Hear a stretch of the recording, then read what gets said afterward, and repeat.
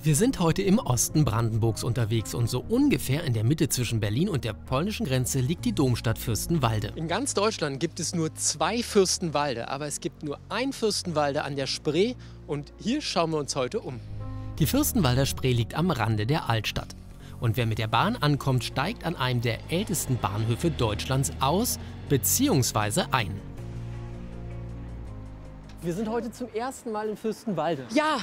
Sind Sie aus Fürstenwalde? Ich bin aus Fürstenwalde, ja. Urgestein. Urgestein. Ich muss aber jetzt ganz dringend okay. zum Zug. Dann brauchen wir jetzt noch schnell einen Tipp von Ihnen, was wir uns heute auf jeden Fall angucken müssen hier.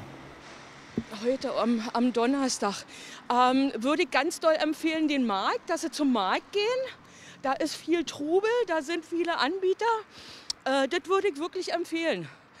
Ja, ähm, fällt mir jetzt mehr im Augenblick okay. nicht ein. Sie sind in Eile. Wo geht's hin? Ja. Was müssen Sie machen? Zum Zahnarzt Oha. nach Berlin. Nach Berlin. Dankeschön. Für einen längeren Plausch hat Carola Drese leider keine Zeit. Ich hätte jetzt wirklich gerne mehr Zeit für Sie, aber. Aber wir haben einen ersten Tipp. Der Wochenmarkt. Also auf ins Zentrum.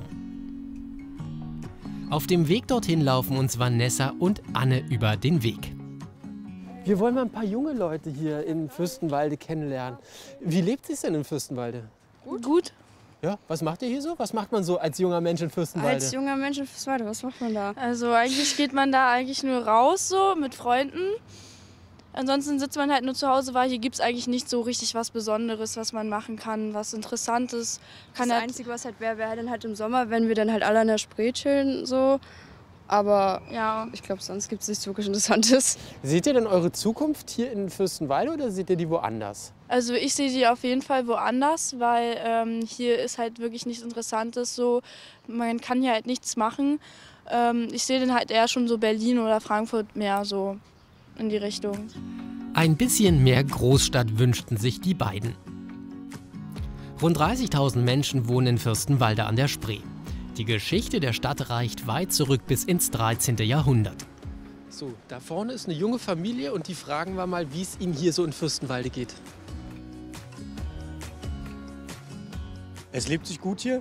Wir erleben ja gerade sozusagen einen Boom äh, mit Tesla gleich um die Ecke, was sich hier ansiedelt. Der Flughafen hat aufgemacht, das merkt man jetzt hier tatsächlich auch mittlerweile. Für die Familie ist vor allem das Umland attraktiv. So die Natur tatsächlich, dass wir einfach hier mitten in der Stadt und gleichzeitig mitten im Grün wohnen. Wir haben viele Spielplätze, wir haben die Spree, wir haben die Wälder, genau, das Umland. Die vier drehen bei dem schönen Wetter eine Runde. Thomas Fischer leitet hauptberuflich einen Markt im Einzelhandel. Ehrenamtlich engagiert er sich als Stadtverordneter für die Stadt. Wie sieht denn Ihr Fürstenwalde der Zukunft aus? Äh, mein Fürstenwalde, unser Fürstenwalde der Zukunft, natürlich ausreichend Kita- und Schulplätze, das ist mal ganz wichtig. Dann wollen wir die Innenstadt neu gestalten. Nach Corona ist sie noch deutlich weniger frequentiert als vorher. Das ist schon immer ein großes Problem gewesen. Und wir wollen Wohnraum schaffen ja, für viele junge Familien mit Kindern, die hier gerne zuziehen dürfen und können. Jetzt gehen sie aber erstmal einen Burger essen. Jeden Dienstag und Donnerstag ist Markttag im Zentrum der Stadt. Wir schauen uns heute mal so ein bisschen in Fürstenwalde um und sind jetzt hier auf dem Markt gelandet. Richtig. Der schöne Marktplatz von Fürstenwalde mit einer Vielzahl von Händlern. Und Sie sind eine von denen? Ich bin eine von denen. Und ich feiere am Montag mein 30-jähriges Marktbestehen. Was sagen Sie denn dazu? Wahnsinn. 30 Jahre hier in Fürstenwalde? 30 Jahre hier in Fürstenwalde. Wie ist das Leben so ich, als Marktverkäuferin? Ich könnte mir anders. Viel, viel anders offener, ehrlicher, bunter. Christina Krüger verkauft Heimtextilien, Tischdecken, Handtücher, selbstgesticktes. Manchmal ist bei mir hinterm Stand mehr los als vorm Stand. Ne? Das gehört einfach zum Markt dazu. Denn Markt heißt nicht nur verkaufen, Markt heißt immer präsent zu sein, auch für die Sorgen und Nöte der Kunden zum Beispiel. Bis zur Rente ist es nicht mehr lang. Von morgens bis nachmittags steht sie auf dem Markt. Können Sie sich vorstellen, irgendwann mal aufzuhören? Mm, nee, leider noch nicht so richtig. Also leider kommen sie jetzt ein bisschen zu spät. Bis, zum, bis vor Corona hatten wir hier noch zwei Kollegen, die waren 85. Wer also am Dienstag oder Donnerstag über den Markt schlendert, der trifft mit Sicherheit Christina Krüger. Eine Sache, das haben wir gehört, sollte man in Fürstenwalde auf keinen Fall verpassen und das ist der Dom Und dort gehen wir jetzt mal rein. Seit 2013 ist Fürstenwalde offizielle Domstadt. Mal gucken, wen wir treffen.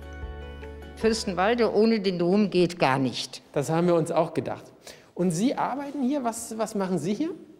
Ich bin nur hier ehrenamtlich. Wir sind ja eine Gruppe, die den Dom hier offen hält, wenn Gäste kommen. Und ich bin in der ersten Schicht, jetzt bis um eins. Um eins werde ich abgelöst. Neben ihr steht Pfarrerin Rahel Rietzel. Sie nimmt sich Zeit und zeigt uns den Dom. Nur durch die ehrenamtlichen Mitarbeiter kann er jeden Tag geöffnet werden. Im Zweiten Weltkrieg wurde das Kirchenschiff fast vollständig zerstört, der Altar hat die Bomben überlebt. Erst Ende der 80er Jahre wurde St. Marien wieder aufgebaut. Im Dom vor ihrer Gemeinde zu sprechen, ist für die junge Pfarrerin immer etwas Besonderes. Für mich ist es schon Beruf und Berufung, ja. Also manchmal ist es auch einfach Arbeit, aber es ist schon was, was ich gerne mache, was ich auch, was ich auch lebe, so, ähm, wo ich mich freue, dass ich mit Menschen ganz unterschiedlich in Kontakt kommen kann. Also so das ganze Leben ist dabei. Die Pfarrerin freut sich über jeden und jeden, der vorbeischaut. Und in Fürstenwalde gibt es noch viel mehr zu entdecken als nur den Dom.